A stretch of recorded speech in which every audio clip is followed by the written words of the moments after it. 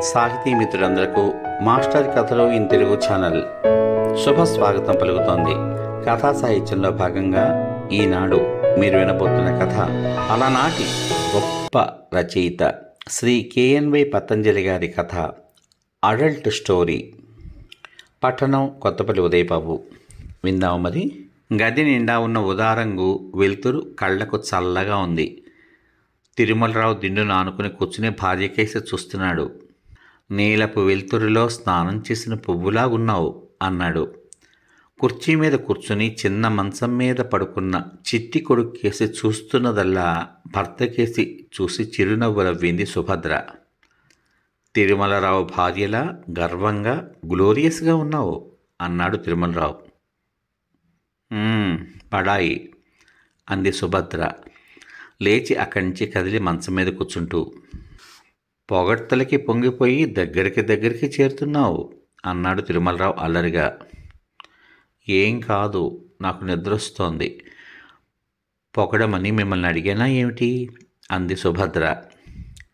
మూడు సంవత్సరాల క్రిందట ఇదే రోజున. అలా కాదు. కథ చెప్పడం నాకు రాదు. బ్రతికించారు. మన పెళ్ళయి మూడు సంవత్సరాలైందని నాకు చెబుతారులా ఉంది.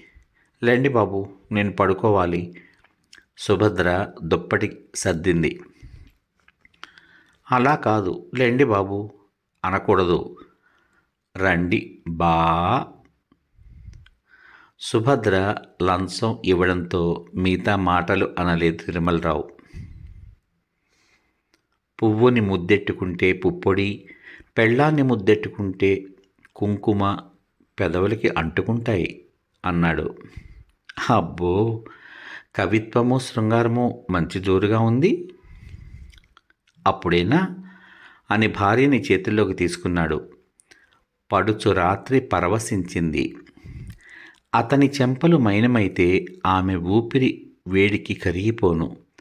ఆమె ఏవేనో అయితే ఆ రాత్రి సంగీత ఝరిలో తడిసిపోను. నీ కన్నుల యాన నీ వలపు కస్తూరి నామము తోడు అన్నాడు. ఈరోజు మీద పడుతున్న శిరోజాల సాక్షిగా అన్నాడు.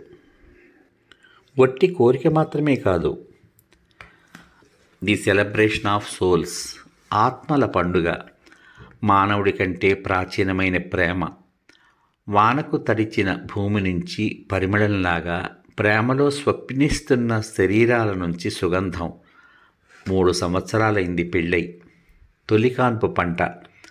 అక్కడ మరొక చిన్న మంచం మీద నిద్రపోతున్న పసిది గంట. ఆ రోజు ఆఫీసుకు సెలవు పెట్టాడు. మధ్య తరగతి జాగ్రత్తకు దేవుడి మన్నా చెప్పాడు. నాలుగు చేతులతో తీసిన జీవితపు చలమలోంచి ఊరిన దోసెడు తీపి పాయసంతోనూ వాళ్ళిద్దరూ సంతోషం చేసుకున్నారు. ఆ ఇంటి కిటికీల్లోంచి రంగు కబుర్ల చిలకలు ఎగిరి వీధిలో చక్కర్లు కొట్టాయి. ఎంతో హుషారుగా గడిచింది పగలు. మంచం మీద నుంచి క్రిందకు పడింది తలదిండు. జడలోంచి పడిన పూలదండ నోరు మూసుకుని చప్పుడు చేయకుండా కాళ్ళవైపు నక్కింది. మాటలు కరువై బట్టలు బరువయ్యాయి. తిరుమలరావు జ్ఞాపకపు ముళ్ళ కొరడ స్మృతి మీద చుళ్ళుమనగా గభాలున లేచి అల్మారా నుంచి చిన్న ప్యాకెట్ తీసి తెచ్చాడు. ఏమిటది? చూపించాడు మంచం మీదకి చేరబోతున్న తిరుమలరావు. ఒక్క దగ్గరికి చేరిన అనుభూతి పాదరసం మీద చెల్లాచెదురు చేసే దెబ్బ వేయి అలల బాహువులతో చెలరేగిన నదిలాంటి సుభద్ర ముడుచుకుపోయింది. నో అని అరిచింది. నిద్రలోని చంటివాడు ఉలిక్కిపడ్డాడు. ఆశ్చర్యంగా చూశాడు Tirumalarao. Subhadra విరుచుకుపడింది. No I hate it. అదంటే అసహ్యం నాకు. దాన్ని చూస్తే బతుకులోని కృత్రిమత గుర్తుకొస్తుంది నాకు. బ్రతుకులోని భయం జ్ఞాపకం వస్తుంది.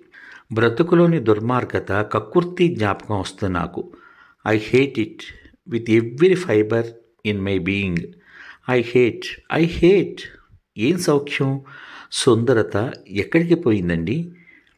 ఎందుకింత దౌర్భాగ్యంగా బతుకుని మార్చుకోవడం? అయ్యో పుట్టిన వాళ్ళకి కాక పుడతారేమోనని మన నెత్తుటి ఫలాల్ని చూసి మనం భయపడిపోవడం సిగ్గుచేటండి. నాకు గుండెల్ని పిండేస్తున్నది. ఈరోజు మన పెళ్ళి రోజండి. ఈరోజు భయమే ఈరోజు కక్కుర్తే ఈరోజు పిరిగితనమే ఏమండి మనం ఎందుకు ఇలాగ అయిపోవాలి? ఏ అలాగైపోయారు? అయ్యో మిమ్మల్ని ఏమీ అనలేదు నేను. పిరికితనాన్ని ఎముకల మూలుగుల్లోకి సైతం పంపేసిన బ్రతుకు అంటున్నానండి. పిల్లల్ని పోషించుకోలేం. నిజమే కానీ ఎందుకంత దౌర్భాగ్యపు బ్రతుకులు అయిపోయాయి మనవి? ఇలాగా బతుకెంత అవకాశం ఇస్తే అందులోనే కుంటి కుక్కలాగా జూలోని జంతువులాగా ఒబీడియంట్గా బతకపోతేయే? ఆవేశాన్ని కృత్రిమతను భయాన్ని తట్టుకోలేకపోయింది. భరించలేకపోయింది. అతని ఛాతీ మీద వాలి వెక్కి వెక్కి ఏడ్చింది సుభద్ర. బిక్క చచ్చిపోయాడు తిరుమలరావు. వెంకటిల్లిపోయాడు. సుందరంగా హిమాలయ గుహాముఖాన గడ్డకట్టిన మంచులతలు ఎండవేడికి ఏడ్చుకుంటూ కరిగిపోయినట్లు ఆవేశం. జీవితంలోని హైన్యాన్ని లోపాల్ని దాచి ఉంచే యవ్వనపు మదపుదనము సుభద్ర ఆవేశానికి మాయం కాగా చేతులు మొహానికి ఆంచుకుని కళ్ళు మూసుకున్నాడు తను. ఆలోచనలు కదలడానికి సైతం భయపడే చోటు. ఎంత భయంకరం! కోపము దుఃఖము కలగలేదు అతనికి జరిగిపోయిన అసహజమైన సంఘటన కలిగించిన జుగుప్స అసహ్యము అతన్ని నిండా నింపాయి. సుభద్ర మాట్లాడదు. గదిలోపలి వెలుతురు కదలదు.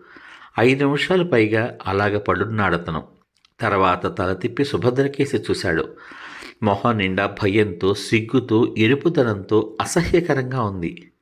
Cruel shameless witch dirty dirty witch గొణుక్కుని చివుక్కన మొహం తిప్పేసుకున్నాడు.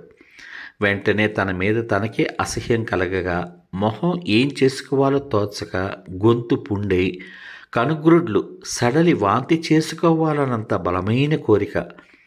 సముద్ర పుటల్లాగా చిన్న పెద్ద ప్రేవులు వాక్ వాంతి కాలేదు లేచి కూర్చున్నాడు. కడుపులో తిప్పుతోందా? కాలుతూ సుభద్ర గొంతు. తిరుమలరావు మాట్లాడలేదు. తలన్నా తిప్పలేదు. మాట్లాడరేమిటండి? అర్ధాంగిగా ఒకే కొట్టంలోని పశువుగా సుభద్ర ఆతృత. పెదాలు కొరుక్కున్నాడు తిరుమలరావు. లేచి వెళ్ళి మొహం కడుక్కుని తుడుచుకుని వచ్చి మళ్ళీ పడుకున్నాడు. నేను బీదవాణ్ణి. పిల్లల్ని పోషించుకోలేమోనన్న భయంతో ఉన్న పిరికి మొగుణ్ణి. ఇంకా విను. సుందరత సున్నితము పట్టవు నాకు. భయాలే తప్ప సెంటిమెంట్లు లేవు. కక్కుర్తి నీచత్వము తలంచుకున్నాను కనుక భరించగలను సిగ్గుపడను. సుభద్ర బెక్కుతోంది. ఏడుపు కూడా రాదు నాకు. ఏడవాల్సిన ప్రత్యేక సమయాలని గమనించలేను అన్నాడు. కానీ కనుకొలుకులు ఎందుకు సలుపుతున్నాయో? తనకి సుభద్ర అతని గుండెల మీద తల వాల్చుకుని పడుకుని బెక్కుతోంది. ఆమె బెక్కులు తీగలాగా సాగుతున్న తిరుమలరావు ఆలోచనలపై నొక్కులు. కొంతసేపు పోయాక ఉద్రిక్తత తగ్గిన కొన్ని నిమిషాలయ్యాక సుభద్ర మౌనంగా ఉన్నప్పుడు సుభద్ర కొంచెం కొంచెంగా అర్థం కాసాగింది తిరుమలరావుకు. పెళ్ళైన మూడేళ్ళకు పెళ్ళాన్ని అర్థం చేసుకోవడం ఆరంభించాడు తిరుమలరావు. వ్రేలు సోకటాన్ని తీగ పలకటాన్ని సంగీతం ఒరకటాన్ని ఒక క్రమంలో అతను ఊహించుకోగలిగాడు. చేతులతో ఆమె తలను గుండెలకు హత్తుకుని Subha my poor weakling my poor wife అన్నాడు. సుభద్ర మాట్లాడలేదు కానీ కళ్ళు మాత్రం మూసుకుంది. తిరిగి ఆమెకు మెలకువ వచ్చేసరికి తిరుమలరావు ఆమె మెడ మీద ముద్దు పెట్టుకుంటున్నాడు. కొన్ని క్షణాల తర్వాత సుభద్ర లేచి కిటికీ అల్మారాలోంచి ప్యాకెట్ తీసి తెచ్చి తిరుమలరావు చేతిలో పెట్టింది. ఆమె బొగ్గ కొరికాడు తిరుమలరావు. సుభద్ర మూలిగింది. అతన్ని చుట్టుకుంటూ. సమాప్తం. ఇంతవరకు మీరు అలనాటి ప్రముఖ రచయిత శ్రీ కేఎన్వై పతంజలి గారు రచించిన అడల్ట్ స్టోరీ విన్నారు. ఒక మధ్యతరగతి కుటుంబంలో భార్యాభర్తల మధ్య జరిగినటువంటి ఒక చిన్న శృంగార చిలిపి తగాదాని ఎంత అత్యద్భుతమైన వర్ణనలతో మన కళ్ళ ముందు ఉంచిన ఆ రచయితకు వారి రచనా శైలికి నిజంగా ప్రణామాలు అర్పించాల్సిందే. ఈ కథ కనుక మీకు నచ్చినట్లయితే ఈ కథ మీద మీ అమూల్యమైన అభిప్రాయాన్ని వీడియో కింద పొందుపరచమని కోరుకుంటూ మళ్ళీ మరొక మంచి కథతో మీ ముందుంటాను. అంతవరకు సెలవు. నమస్కారాలతో కొత్తపల్లి ఉదయబాబు.